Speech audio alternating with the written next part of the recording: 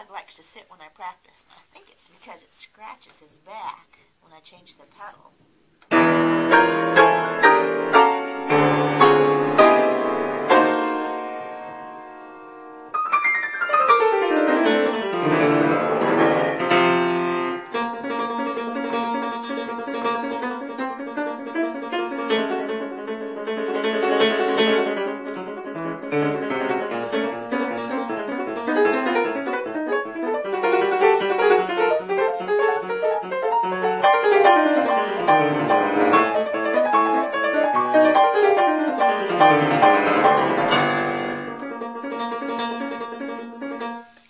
And you know, it's it's no wonder that he's a little bit deaf.